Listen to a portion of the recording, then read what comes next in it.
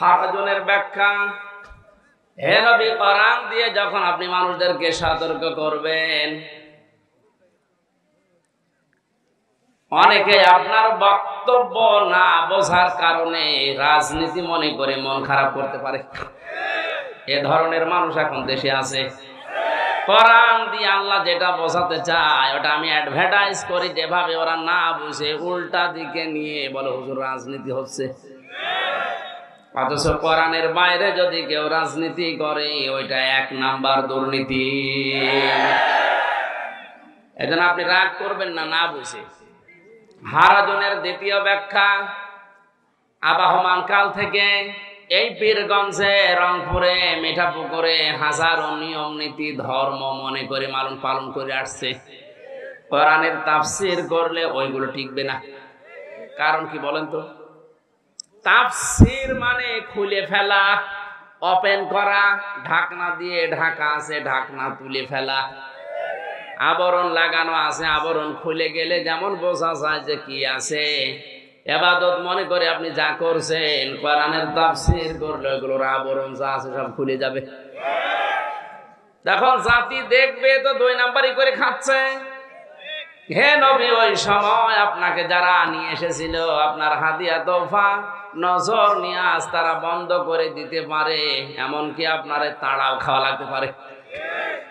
এই জন্য নবীজিকে হারজন দিয়ে জানিয়েছেন, আপনার মনের ভেতরে যেন কোনো সংকীর্ণতা কাজ না করে।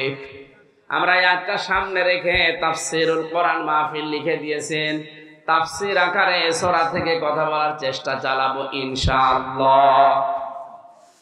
দরুদ আর সালাম পড়ছি আমাদের নবী মোহাম্মদ রসুল্লাহ সাল্লাল্লাহু আলাইহি প্রতি। শরীর এবং কণ্ঠের দিকে তাকে আমি মাঝে মাঝে কাটা কাটা বলছি। বোঝা যাচ্ছে তো? হ্যাঁ। মূল কথা হচ্ছে আমরা নামাজ আদায় করার জন্য অজু করি। অজু করলে সাতটা কারণে অজু ভেঙে যায়। কয়টা? নামাজে দাঁড়ালাম, নামাজ পড়লেই হবে না উনিশটা কারণে নামাজ ভেঙে যায়। এইটুকু জানেন তো নাকি? পৃথিবীতে যত এবাদত আছে, প্রতিটি এবাদত নষ্ট হওয়া, ভেঙে যাওয়া, এর কোনো কারণ আছে না নেই? আর জোরে, আমাদের আমল ভেঙে যায়, আমল মানে কাজ। আমল মানে কাজটা ভেঙে যায় কি করে? কাজ ভাঙবে কি করে? ওর ভাঙবে কি? হাত পা আছে কাজের। لا ترفعوا أصواتكم فوق صوت النبي ولا تجهروا له بالقول كجهر بعضكم لبعض أن تحبط أعمالكم وأنتم لا تشعرون. এটা সরা হুসুরাতের দুই নাম্বার আয়তে আল্লাহ জানিয়েছেন, ইমানের দাবি করো। আমাদের ইমানের দাবি আছে না? ইমানের দাবি যদি করে থাকো, সাবধান, আমার রসুলের কথার উপরে কথা বলবা না। যদি কেউ রসুলের কণ্ঠের উপরে কণ্ঠ তুলে উচ্চ আওয়াজে কথা বলে, কি হবে দুইটা? এক নাম্বারে ওর জীবনের যত ভালো ভালো কাজ ছিল, আল্লাহ সব ব্যর্থ করে দেবে, নষ্ট করে দেবে। অথচ লোকটা টেরও পাবে না। আমার প্রশ্ন হচ্ছে এখানে, নবীজি এখন আছে, কেয়ামত পর্যন্ত আসার সম্ভাবনা আছে? আরও জোরে। আমি শেষ নবী, আমার আর পরে কোনো নবী আসবে না। কথা বলেন। এ হাদিস অনুযায়ী বাংলাদেশে যারা কাদিয়ানি দাবি করছেন, আপনারা কাফের। ফতোয়া রাখবে না। কোরআনে তো আছে, আমি হাদিস দিয়েও বললাম। চার চার জায়গায় মোহাম্মদ রসুল্লাহর নামটা আল্লাহ স্পষ্ট কোরআনে দিয়েছেন। অমা মোহাম্মদুন ইল্লা রসুল। মোহাম্মদুর রসুল্লাহ নুসিল আলা মোহাম্মদ। ما كان محمد أبا أحد من رجالكم ولكن رسول الله وخاتم النبيين কোরআন কোরআন আল্লাহ স্পষ্ট মোহাম্মদ এই শব্দটা দিয়েছেন কয় জায়গায় কিন্তু আপনি লক্ষ্য করে দেখবেন সঙ্গে মোহাম্মদ বলার পরে রেসালাতের ঘোষণা দিয়েছেন যেখানেই মোহাম্মদ উচ্চারণ করলেন, রেসালাতের ঘোষণা দিয়ে তার সম্মানটা আল্লাহ এত বেশি বাড়িয়ে দিয়েছেন। কেয়ামত পর্যন্ত যারা উম্মত বলে দাবি করবে রসুলের নাম শোনার পরে তাদের এই দৌড় পড়া আবার স্পষ্ট ভাষায় বলছে, পৃথিবীতে যারা কাদিয়ানি, এরা কাফের। এদেরকে সরকারি ভাবে কাদিয়ানিদেরকে অমুসলিম ঘোষণা করা উচিত। কেয়ামতে যদি কিছুই আমাদের কবল না হয়, নবীজির পক্ষে যে হা বলে আমরা সমর্থন দিলাম, কেয়ামতে আওয়াজটা আল্লাহ আমাদেরকে যেন শোনান, বলেন আমি নবীজির পরে আর নবী আসবে না, এটা করান এবং হাদিস দিয়ে ফাইনাল। কিন্তু আল্লাহ তার ফাও দিয়েছেন। মোজারে বর্তমান ভবিষ্যৎ, প্রেজেন্ট, ফিউচার। কেন? নবীজি ইন্তেকালের আগে জানিয়েছেন, আমার পরে নবী আসবে না ঠিক, কিন্তু আমার পরে যারা এলেম পাবে, আলেম হবে আমি নবীর উত্তরাধিকারী, নায়েবে রসুল। কথা বলে না কেন? নবীজির সামনে উচ্চ স্বরে কথা বললে যেমন জীবনের কাজ সব আল্লাহ নষ্ট করে দেয় ভেঙ্গে ফেলে। আলেমদের সামনে কেউ এখন উচ্চ স্বরে কথা বললে ওর জীবনের ভালো কাজ আল্লাহ নষ্ট করে দেবে। তাহলে আমল কীভাবে ভেঙ্গে যায়, নষ্ট হয়ে যায় আমরা জানলাম। নামাজ কীভাবে ভেঙ্গে যায়, উনিশটা কারণে আমরা জানলাম। অজু কীভাবে ভেঙ্গে যায়, সাতটা কারণে আমরা জানলাম।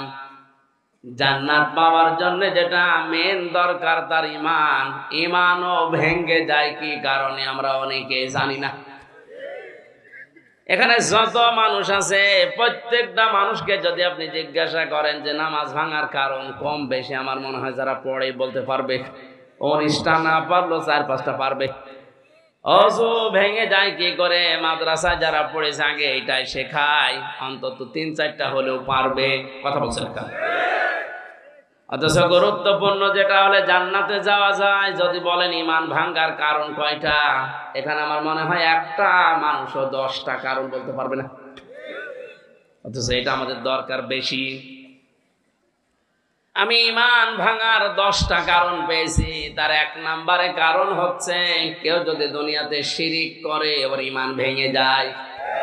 দুই নাম্বারে কেউ যদি কুফুরি করে ওর ইমান ভেঙে যায়। তিন নম্বরে, কারও ভেতরে যদি নেফাক থাকে, মোনাফিকি, সব ধর্মকে অনেকে সমান মনে করে। ওর ভেতরে মোনাফিকি আছে, নেফাক আছে, এই কারণে এটা মনে করে। কোরআনে কারিম আল্লাহ একটা ধর্মকে প্রমোট করেছেন ইন্নাদ্দিনা ইনদাল্লাহিল ইসলাম। আমার কাছে মনোনীত জীবন ব্যবস্থা, ধর্ম একটাই, তার নাম ইসলাম। তার নাম কি?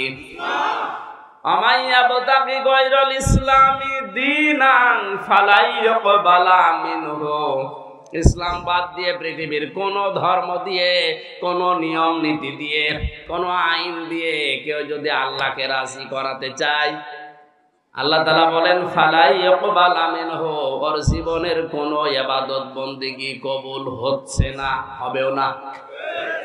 তাহলে আয়াতগুলো অনুযায়ী বোঝা যায়, পৃথিবীতে একমাত্র ধর্ম আল্লাহর কাছে ইসলাম, বাকি যা আছে সব বাতিল ধর্ম। আরও জোরে। তাহলে আপনার ভেতরে মোনাফিকি আছে, এই কারণে আপনি সব ধর্মকে সমান মনে করেন।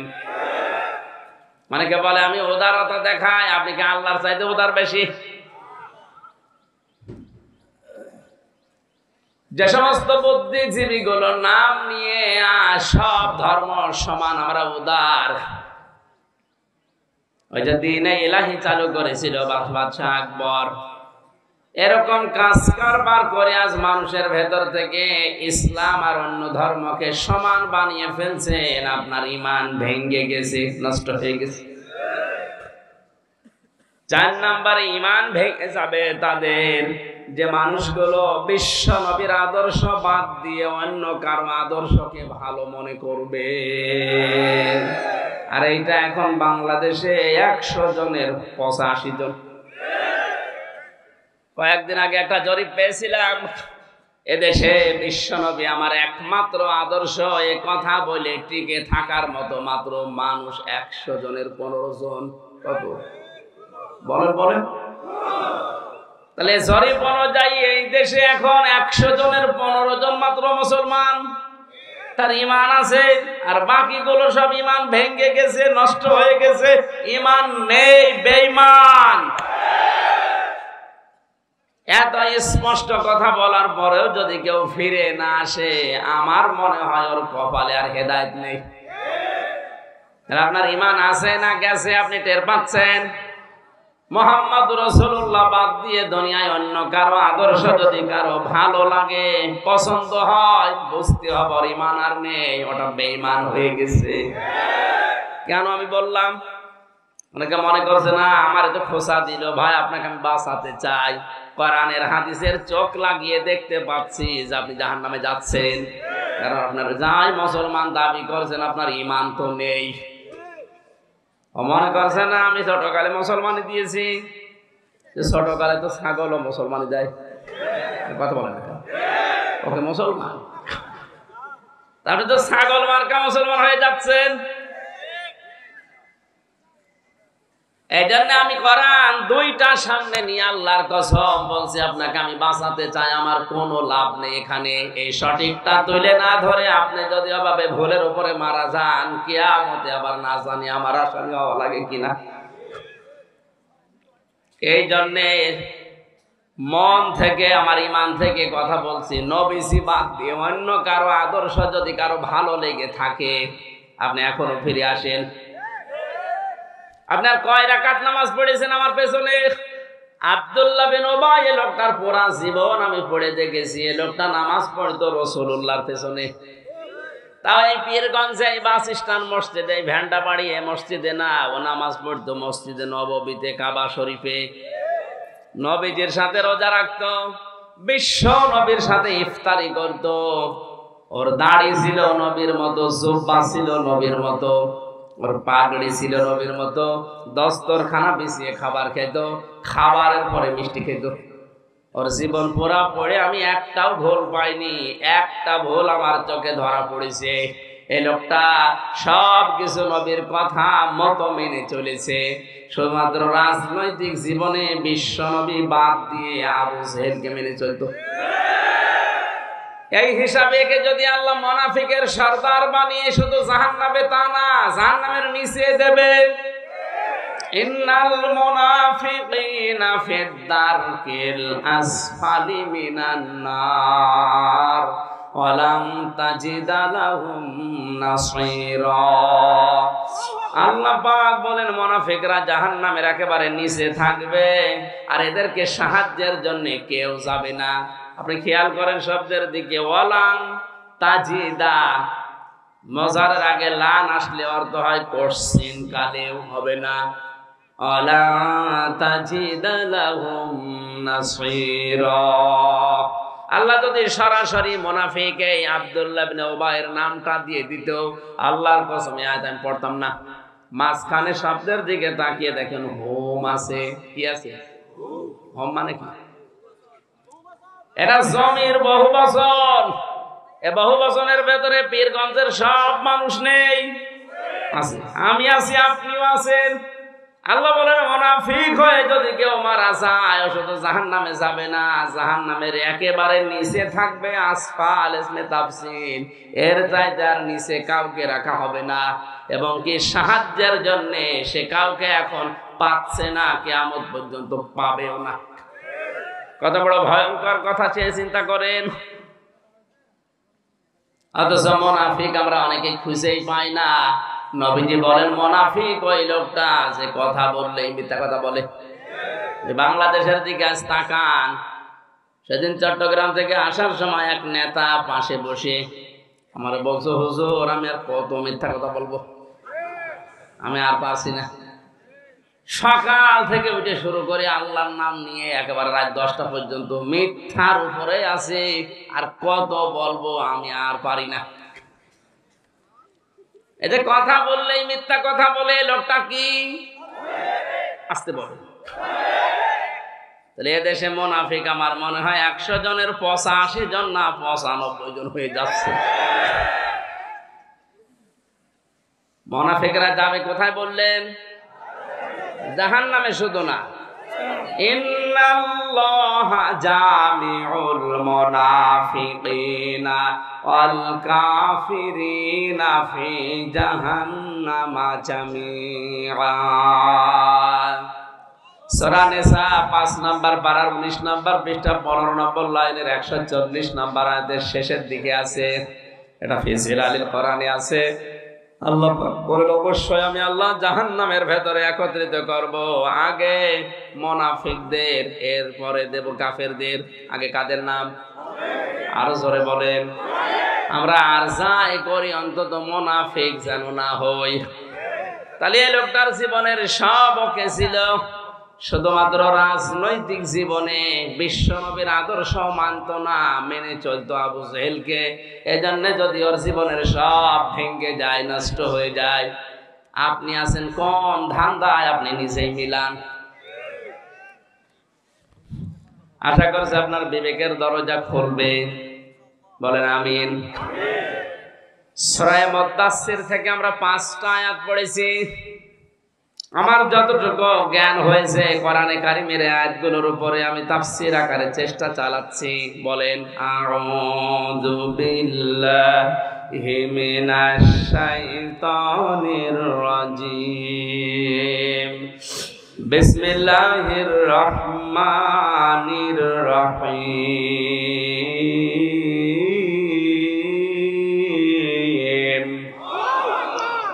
ইয়া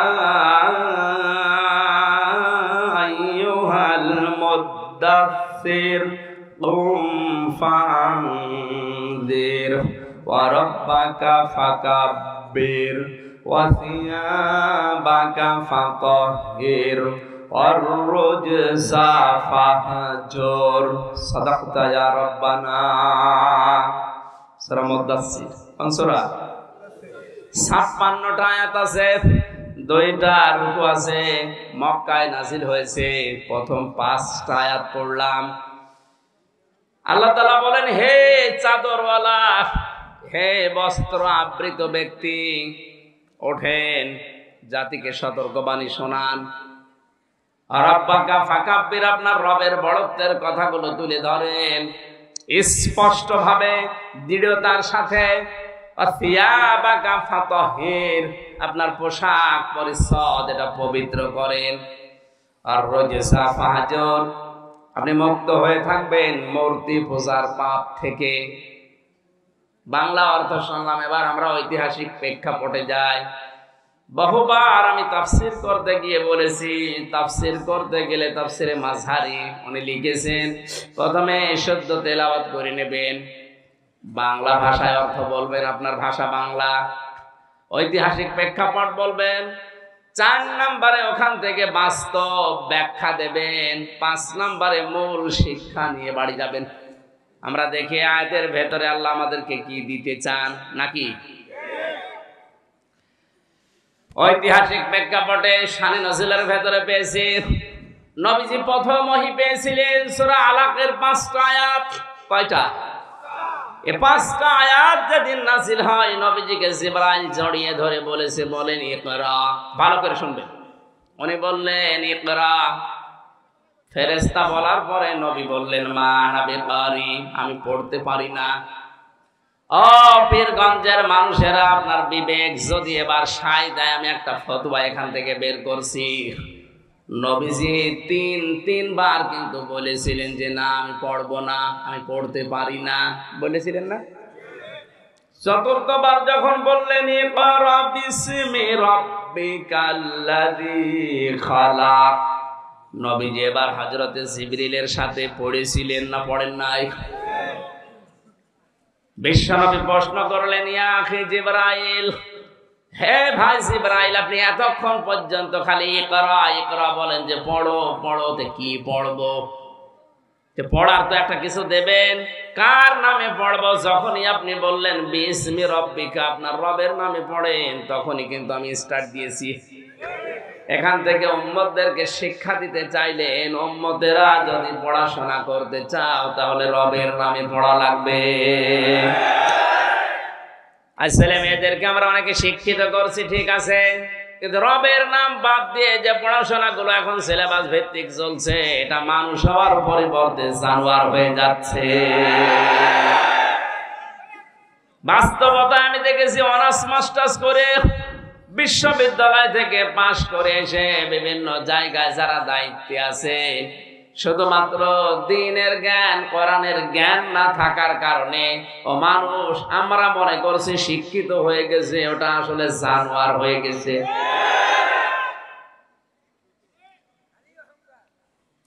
আমি নিজেই চোখ দিয়ে দেখলাম একজন অজু করছে, ছাত্র পায়ে পানি ঢেলে দিচ্ছে। ময়লা সরে না, এজন্য নিজের হাত দিয়ে ময়লাগুলো ছাড়িয়ে দিচ্ছে। বয়স মাত্র পাঁচ বছর, সাড়ে পাঁচ বছর।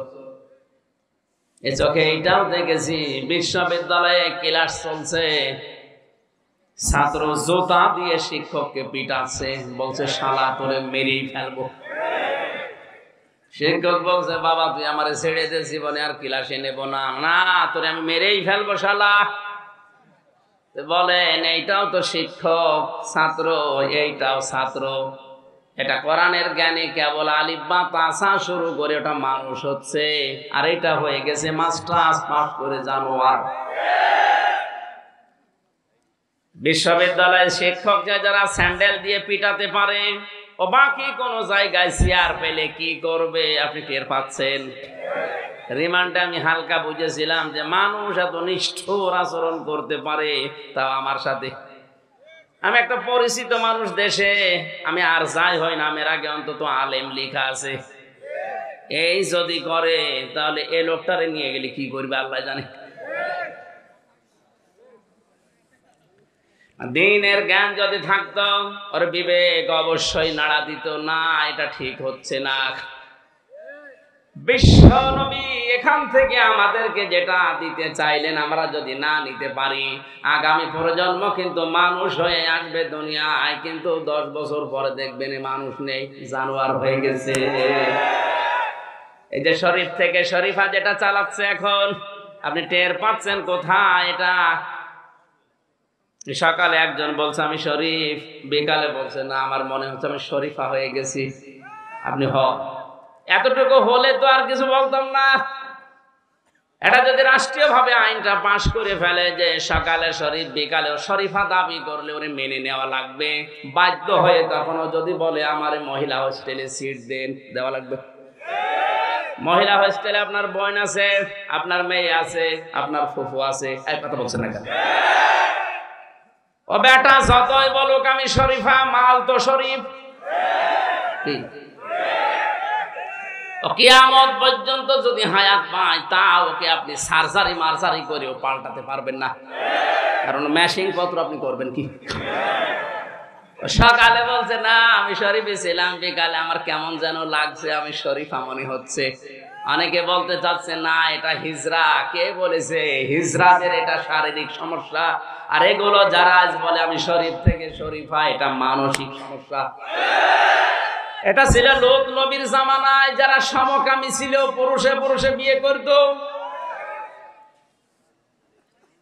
এ কাজ করে আল্লাহর গজব নাজিল হয়েছিল। আমার আল্লাহ ডেড সি মৃত সাগর বানিয়ে দিয়েছে এই পাপের কারণে। অথচ সেইটা এখন যারা প্রমোট করে, চালু করতে চাচ্ছেন আপনার হয়তো কিছু মনে হচ্ছে না। ও যদি বিকাল বেলায় বলে, আমার মহিলা হোস্টেলে সিট দেওয়াই লাগবে, কারণ আমি এখন শরীফা, দেন।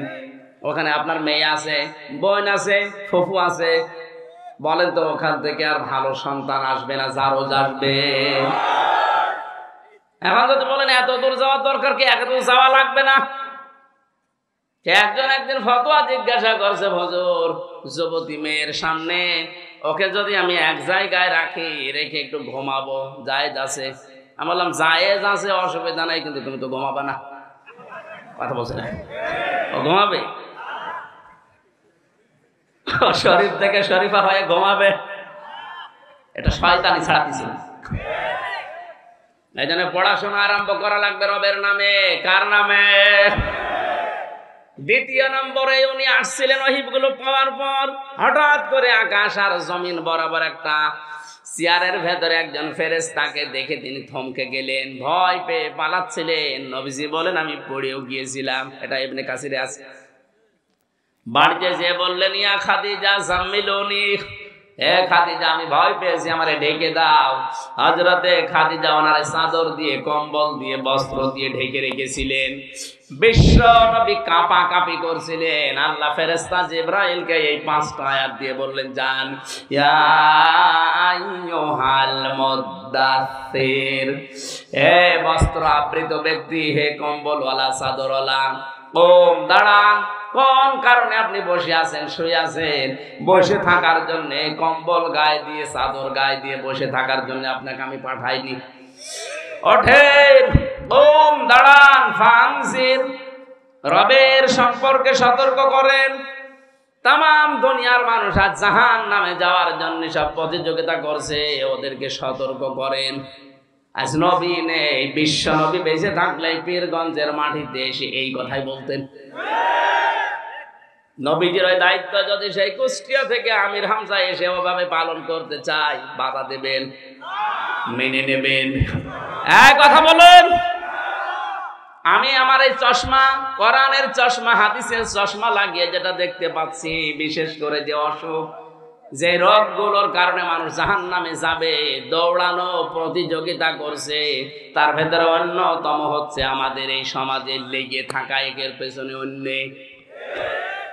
এর পেছনে ও বাস দিচ্ছে। এত বেশি এই অপরাধটা চলছে, অনেকে মনে করে তো ছোট গোনা, কে বলেছে ছোট গোনা? এর পেছনে ওরে লেগে থাকা, ধারণা করা, খারাপ বলা, এটা যে কত বড় গোনা, এর কারণে আজ হাজার হাজার মামলা হয়। জেলখানাতে আমি দেখেছি যত কিছু তার ভেতরে, এটা অন্যতম। খালি তালা তালি করে, এর কথা ওর কাছে লাগিয়ে, খারাপ ধারণা করে মামলা দিয়ে দিয়েছে। অথচ লোকটা ওই সম্পর্কে কিছু জানেই না। আমি তাফসির থেকে একটা ঘটনা শোনাচ্ছি। আছেন আপনারা, আছেন? আমার ভাইরা, ইমাম মালিক রহমতুল্লাহ আলাইহে তার জামানায় একটা মহিলা মারা যায়, মেয়েরা ভালো করে শুনবেন আপনাদের ভেতরে এই রোগটা বেশি। একজন মেয়ে লোক মারা যাবার পর পাশের পাড়া থেকে এক মহিলা এসে ওকে ধোয়াচ্ছিলেন, লাশ ধোয়ায় মেয়েদের।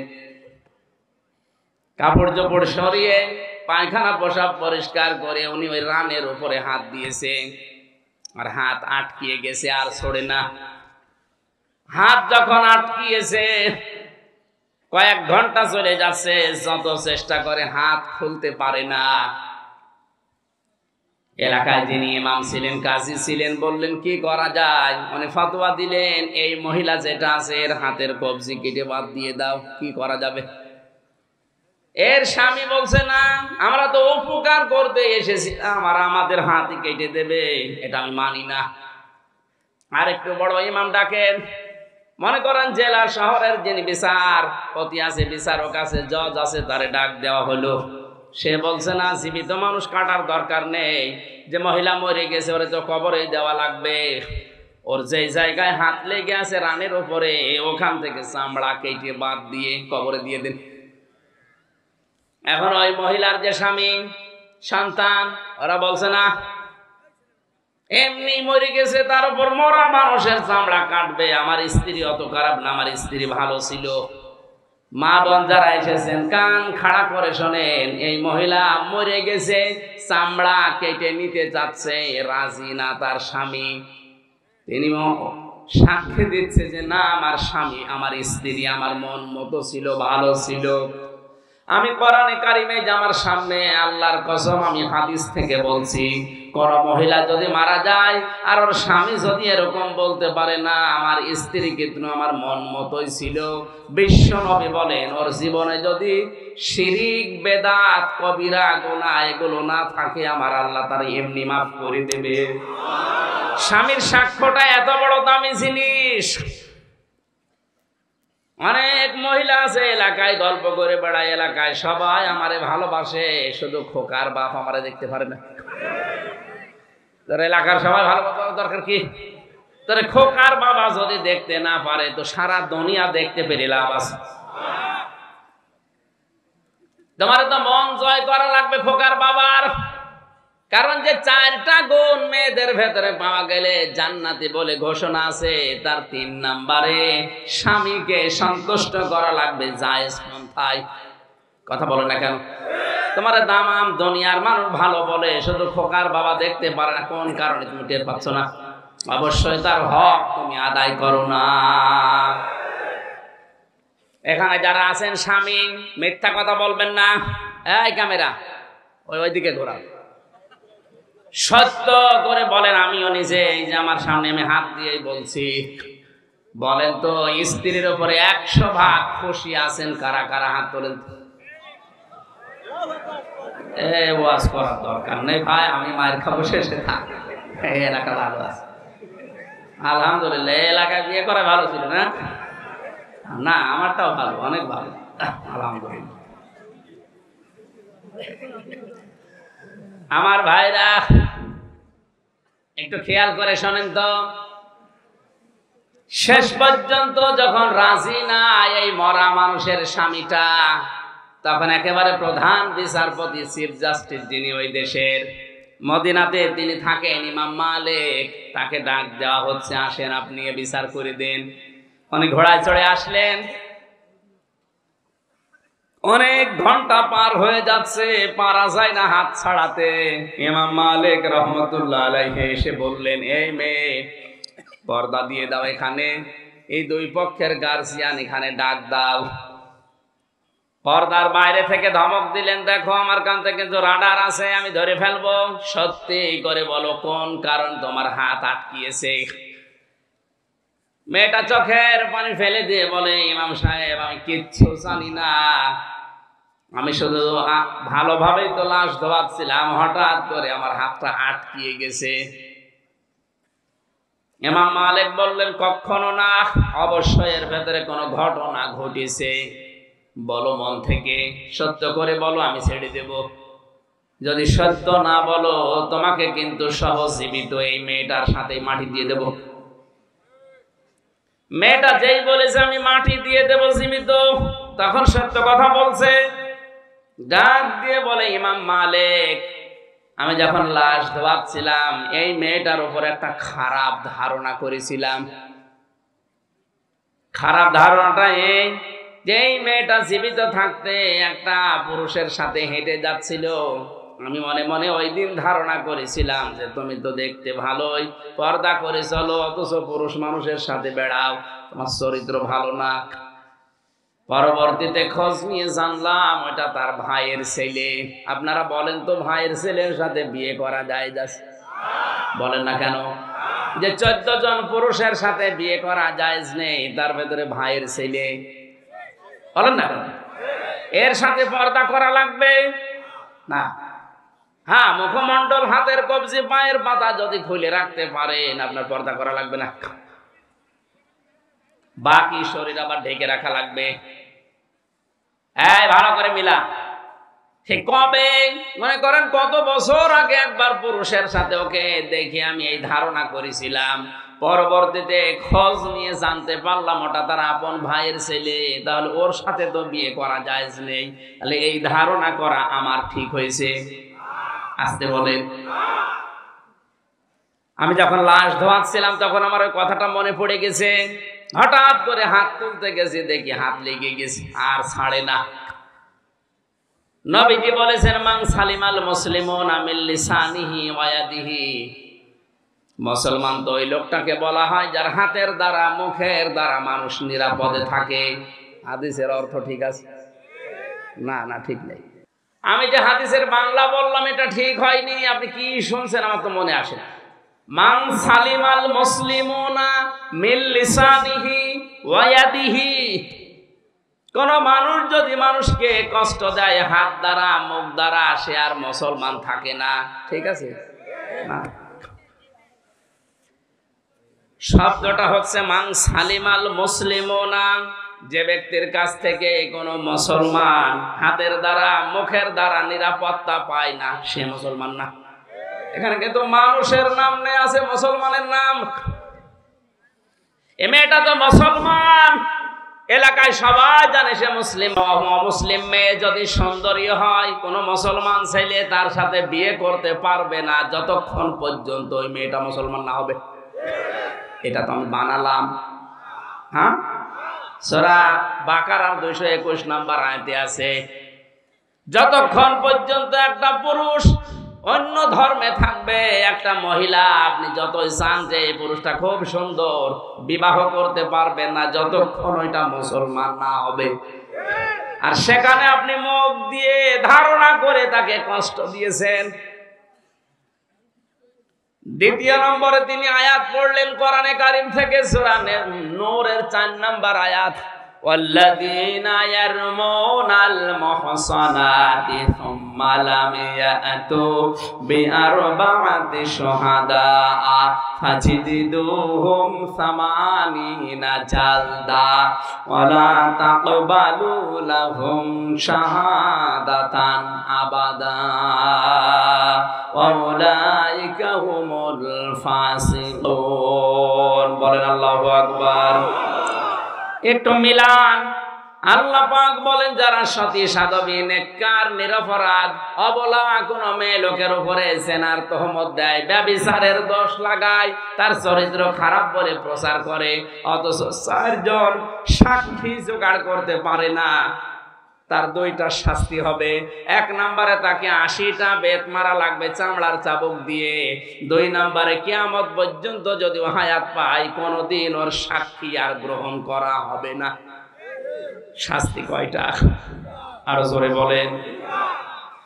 একটা নেককার মহিলা, সে তার ভাইয়ের ছেলের সাথে বেড়াতে গিয়েছে, তাই দেখে তুমি ধারণা করলে নেককার মহিলার প্রতি একটা উল্টা পাল্টা ধারণা করে তাকে দোষ দিয়ে দিলে তার চরিত্র খারাপ। চারজন সাক্ষী তোমার আছে, প্রমাণ করার জন্য মহিলা বলে, না, আমার কোনো সাক্ষী নেই, আমি মনে মনে এটা করেছিলাম। সাক্ষী যখন নেই, তাহলে দুইটা শাস্তি। জীবনেও তোমার তোমার সাক্ষী কোনোদিন আর কবুল হবে না। দুই নাম্বারে তোমাকে এখন আশিটা বেত্রাঘাত করা লাগবে। প্রধান বিচারপতি যেহেতু রায় দিয়েছে, রায় মানায় লাগবে। জল্লাদকে ডাক দিয়ে বললেন, ঠিক আছে, শুরু করো। চামড়া আর চাবুক দিয়ে একটা একটা করে পিটানো হচ্ছে। ওর নিজের পিঠের চামড়া এবার উঠে যাচ্ছে। আশিটা মারা হয়ে গেছে।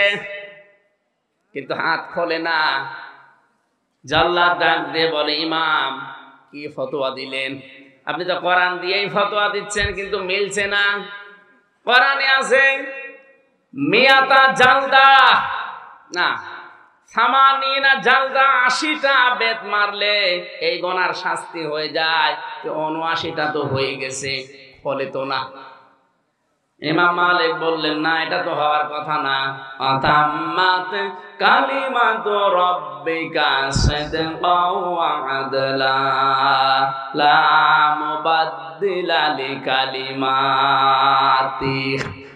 আল্লাহ পাক বলেন, আমি যে কালাম নাজিল করেছি, আমার কালাম তিনটা জিনিস দিয়ে পরিপূর্ণ।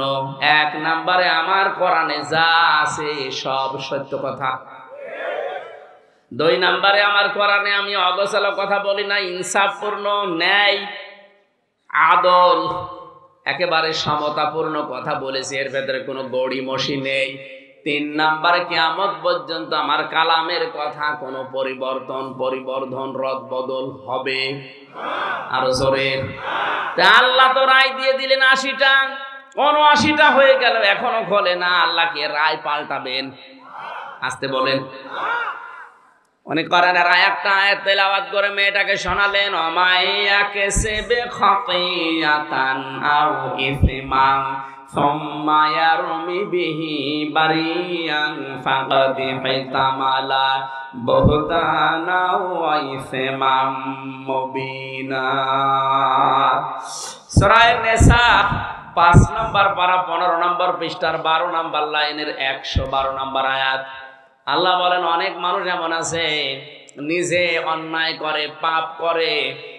আর অন্যায়টা যখন হয়ে যায়, তখন একটা নিরপরাধ মানুষের ওপরে চাপিয়ে দিয়ে নিজে ভালো সাজে।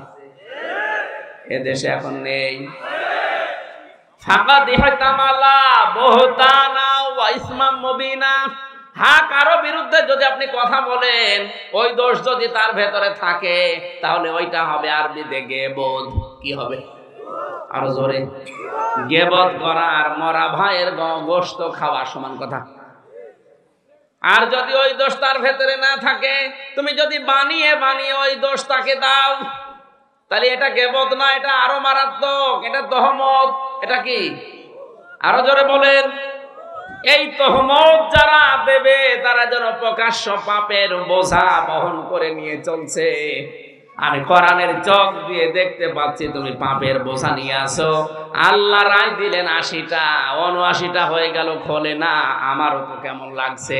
কিন্তু আমি বিশ্বাস করি আল্লাহ আর কোরআনের কোনো কথা মিথ্যা নয়। জাল্লাদকে ডাক দিয়ে বলে, এবার শুরু করবা বিসমিল্লাহির রহমানির রহিম বলে, আর একটা বাকি আছে। উনি শুরু করলেন আল্লাহর নাম দিয়ে। আশিটা মারার সঙ্গে সঙ্গে হাত খুলে গেছে। আল্লাহ জানিয়েছে, দুনিয়ায় কোনো অপরাধের বিচার যদি হয়ে যায়, ওই বিচারটা আল্লাহ মরণের পরে আর ডবল করে করে না। আপনি এই ঘটনা থেকে কি বুঝলেন? একটা মানুষের উপরে বিনা কারণে যদি ইনের অপরাধ মানুষকে কেউ দোষ দিয়ে ফাঁসিয়ে দেয় তাকে যদি বিপদে ফেলে দেয়, আপনি মনে করছেন আমার তো কিছু হচ্ছে না। যেদিন এরকম হাত আটকিয়ে যাবে ওই দিন টের পাবেন। আল্লাহ কিন্তু ছাড় দেয়, মানুষকে কিন্তু ছেড়ে দেয় না। আপনার নিজের অপরাধের শাস্তি অন্য মানুষের উপরে চাপিয়ে তারে বিপদে ফেলছেন। আমি মনে হয় এটা বেশি বলে ফেললাম। এদেশে কি এখন এমন অবস্থা আছে? কোন কারণে আমরা তিনটা বছর আটক করে রাখলেন? আমি তো ওই অপরাধী অপরাধী না, আমি কিছু আমারে দোষ দিয়েছে, সংসদ ভাঙতে গেছে কে জানো সিরাজগঞ্জ থেকে একটা কাঁচি নিয়ে। ও নাকি বলেছে, আমির হামজার ওয়াজ শুনে আমি উদ্বুদ্ধ হয়ে সংসদ ভেঙতে এই জন্য আমার আটকে রেখেছে তিন বছর। একটা কথা হইল, কার অপরাধ, কার ঘাড়ের উপরে চাপিয়ে আপনি তার জীবনটা নষ্ট করে দিচ্ছেন? আমার কারণে আমার স্ত্রী তিন বছর স্বামী ছাড়া, আমার সন্তান দুইটা। দেখেছেন ওই ছোট যারে এক বছর রেখেছিলাম ফারিহা এখন চার বছর। অপ্রিজন ভ্যাল ধরে ঝুইলে অনেককে কান দিয়েছে। আপনার মনের ভেতরে একটু কিছু আসে না যে নিরপরাধ মানুষ না দুই দিন, পাঁচ দিন রাখি, তিন বছর রেখে দেবেন। আপনি মানুষ। আপনার যেদিন এরকম এই মহিলার মতো হাত আটকিয়ে যাবে জায়গা মতো হ্যাঁ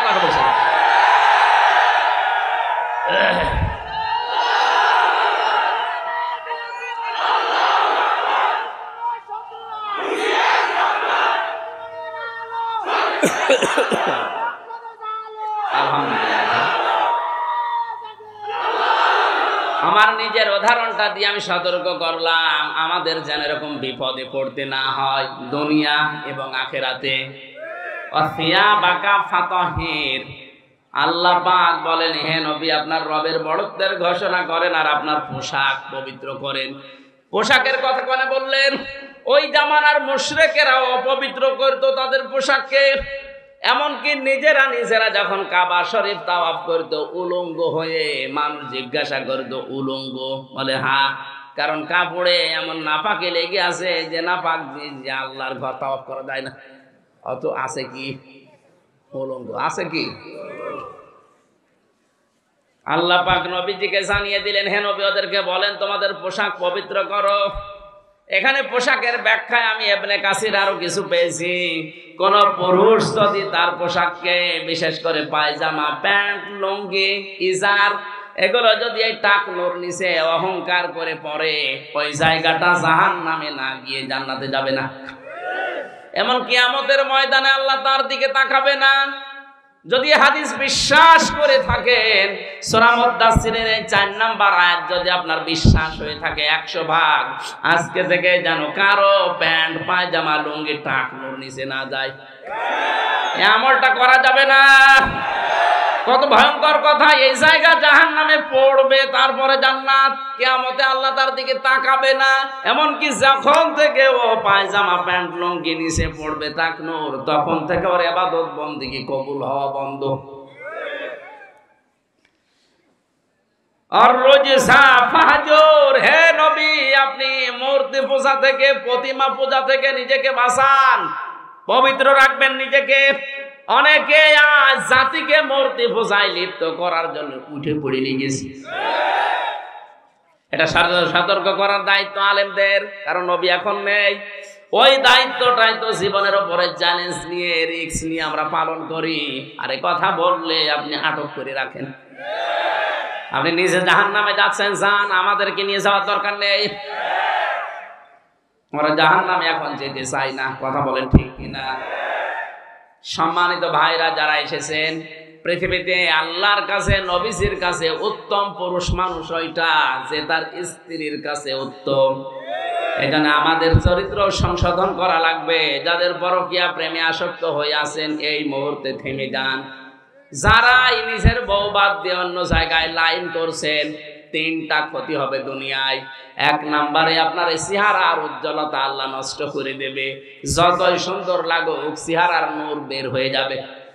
দুই নাম্বারে আপনার যৌন শক্তি নষ্ট হবে। কারণ যার জন্য আপনাকে আল্লাহ বাসেট করেছিল, ওইটা বাদ দিয়ে আপনি অন্য জায়গায় ব্যবহার করছেন। ওইটা আল্লাহ আমাদের খেয়ানত করেছেন, রাখবে না। তিন নম্বরে আপনার মরণ যখন হবে ইমান পাবেন না। এই পরকিয়া প্রেমের রোগী যারা, ওরা বেঈমান হয়ে মারা যাবে। আমরা যারা এখানে ওরকম রোগী আছি, আল্লাহ আমাদের হেফাজত করেন, বলেন আমিন।